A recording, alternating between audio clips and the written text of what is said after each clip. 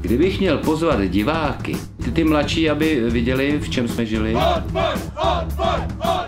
a ty starší, aby si to připomenuli. Ježiš, to je moc. Já myslím, že to je málo.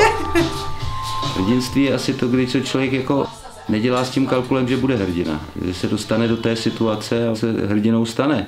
Kamera! Jako ředitel divadla Odboj Pozor! Vás zvu do kina na film Akce!